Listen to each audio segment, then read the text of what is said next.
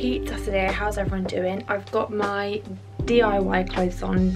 Basically, I'm to do it outside so I don't get too hot. But I haven't worn stripes in a very, very long time. So I don't know how I feel about these. But anyway, so first things first, I need to clean the vases and the different things that I'm going... Oh, hello. Right, just went there and the different things that I'm going to paint and I need to clean them using sugar soap. If you are new to DIY like me, I had no freaking idea what that was, but it's this. Picked it from Screwfix, it was like two, three pounds, really like inexpensive, but it's the concentrate version. So I need to quickly whip up a uh, diluted version of this. So I'll just try and find like a spare spray bottle. And then I also picked up some Gorilla Glue. Um seen this on TikTok quite a bit. This was only I think seven pounds but I'm going to be using this when I eventually go and buy my rattan webbing which I'm planning on nipping to the garden centre today. Going to persuade my housemate to come with me buy her a coffee because I want her to kind of help me. She's a bit of a DIY guru and she's a lot more creative than I am. I've got like one two three projects to do today. Um, so yeah, I just want to get started and hope you enjoy. So all I did was I basically just filled um, a little bit in the bottle full of the concentrated sugar soap. Um, I think I kind of guessed this. I wasn't really sure. I probably should have looked at the instructions a bit more, but um, hey ho. Then I filled it with water and just gave it a little bit of a shake. So the purpose of this product is to clean anything you're going to paint so that when you paint onto it it's a really clean surface. So I just picked up the vases from Facebook Marketplace. They were £5 each, uh, such a bargain. I just rinsed them out, made sure there's no dust or anything inside, just to get them prepped and primed, ready to paint.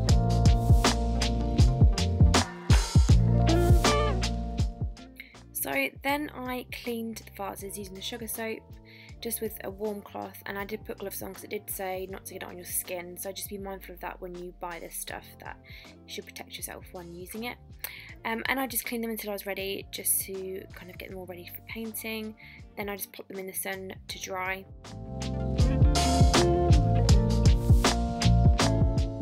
So next I moved on to cleaning the storage unit. So this unit I also got from Facebook Marketplace, would you believe? Uh, it was only £20, it was absolute steal, just for some additional space just to store our many, many shoes. So just give this a quick wipe down and yeah, got ready for it to be painted.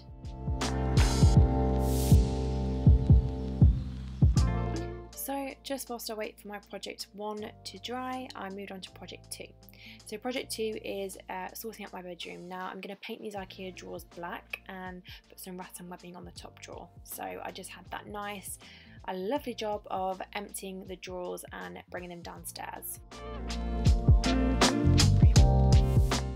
Again, just my little storage unit that I keep all my makeup in. I'm actually going to spray this one black as well, just to really bring out a bit of a monochrome vibe into my room. At the moment, it just feels way too clinical with all this white.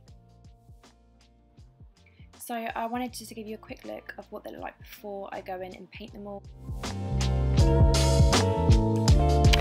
So project two is to spray paint um, my old lampshade and my little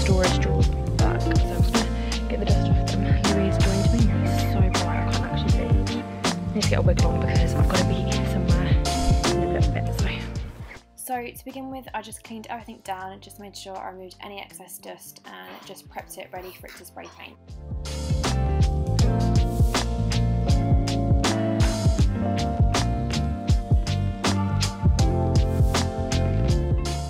What I would say is definitely spray away so basically spray away from the wind so wherever the wind blows it's not going to spray back on you I was so scared to use this but um it's not too bad. It did it did kind of obviously make the grass black but um what I would also advise is take your time with it.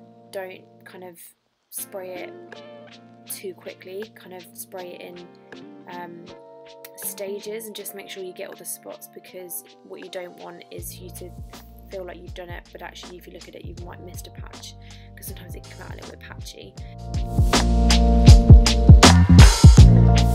With the drawers, these these were actually really difficult to do. I actually had to um, spray paint these twice. I left them overnight to dry. Um, I ended up running out of this can and having to go out and buy another one, but wasn't it wasn't too expensive to pick up. I think you can get it for like ten pounds. Because of the um, fumes of the actual spray paint, what I would suggest is that you leave them overnight somewhere not in the house. So we actually left it in the bathroom, but also in the garage as well if you've got one, or maybe a shed that would do.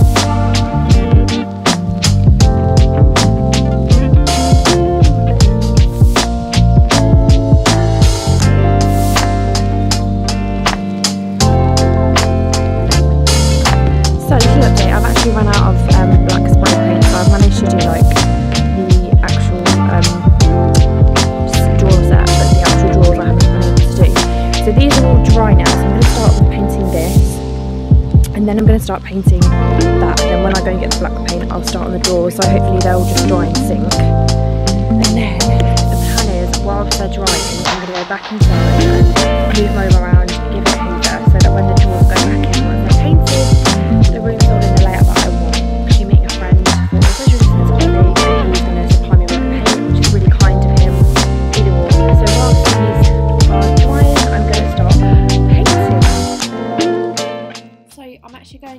with the Valspar paint in the shade Oyster Shoal.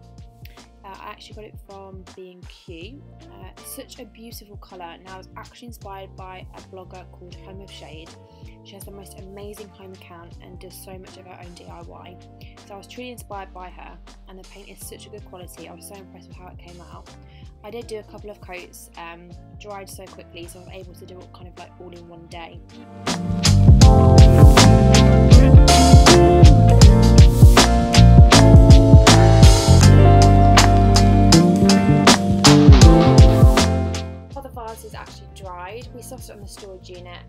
Got about halfway and then I went to go grab some black paint but we did it in the same colour as the vases and it just came out so nice and you'll of course see that in another clip.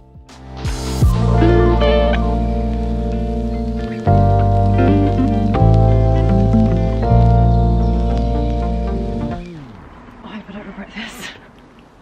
Imagine it just like really shit.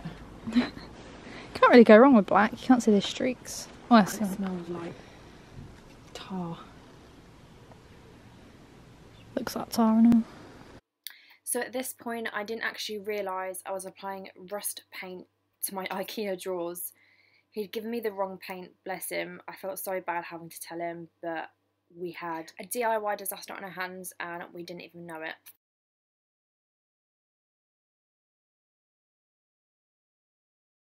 Look at me. So we've just realised that this is. Oh, no, it's drying a little bit more matte. I think. I don't know. Like, we're just worried that this is going to dry a bit too glossy, and I am a little bit nervous about that. But then, does that look matte to you? That little section there. Yeah. Yeah, it does. I just think it's going to be harder to paint by the looks of it. Like it's. But maybe that's because it's black on a white. So you do need a couple of Well, yeah, I'm going to need a couple of coats. hits, yeah. So the term I've absolutely fucked it. Doesn't need to be used just yet. So guys, I've had a DIY disaster and I wouldn't be me if I didn't tell the truth. I don't like the way that this has come out. It's it's like too glossy. It looks alright on camera but in person I'm not really a fan so I'm now going to have to sand it all off start again and I'm going to use this paint. Quite It's quite a good paint. It's Valspar. It's the same paint that I've used on on that so that's going to be a bit of a matte black. So I've got a lot of work to do and then I've bought another um, spray paint black to finish off my drawers today which they'll be done today which I'm not worried about that so I'm gonna down this coffee and crack on. So I actually nipped back to B&Q and picked up some sandpaper just so I could actually just sand the drawers down just to give it a bit of a grip so when the paint went on it actually stuck to it. So in the end I actually used the Valspar paint. It was the wood and metal paint in the shade La Plancha uh, and the code was W35D. It came out such a beautiful colour. It was the colour that I was looking for in the beginning and yeah, no regrets on messing up because I think you can learn from that. paint the frame itself, uh, it took me a couple of coats and just to get all the little bits at the bottom as well, I ended up using a smaller brush. But just to actually base it, I just used a roller and that was the most efficient way and it gave it a really smooth finish. So I was really happy with that. But the drawers did take me a little bit longer.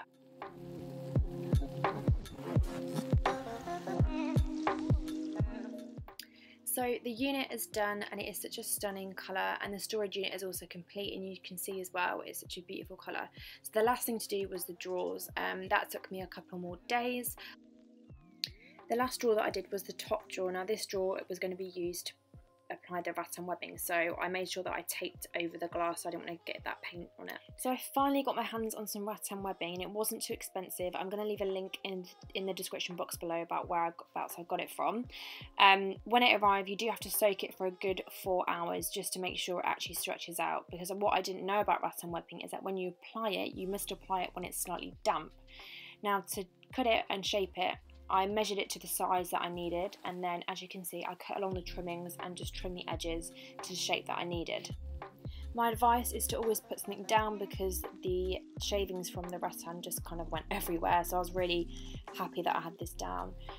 So this was the tricky bit getting it like absolutely perfect so it's slotted inside the glass so you can kind of see there's almost like it's slightly lifted where the glass is set back from the rest of the drawer so having this to fit to the size of the drawer was a little bit tricky and took a little bit longer than what I wanted I was being a bit impatient at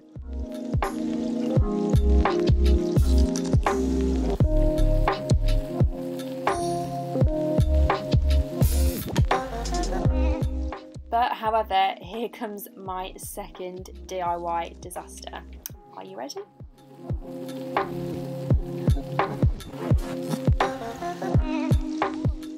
So in the beginning of the video, I showed you the Gorilla Glue that I picked up and it was wood glue. We applied it like this and we left it for a couple of hours and it just didn't stick. Like it just wouldn't stick. So I ripped it off, I started again, and I nipped a Screwfix and I picked up the adhesive glue, which I would strongly recommend, excuse the pun.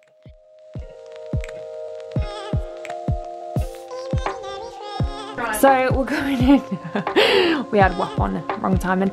We're gonna go in with this because the other glue just wasn't working. So I took off the rattan and we're gonna start again. So yeah, I'm not, I'm absolutely fine. I'm not stressed at all. It's not Friday night and all I wanna drink is absolutely fine. I'm gonna be fine.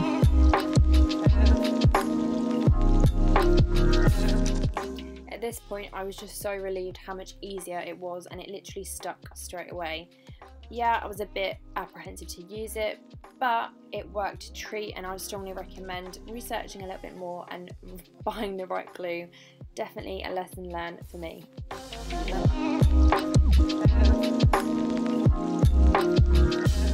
So this was the finished product of the drawer. I was so happy. Like I remember just sitting there staring at it going, I did this.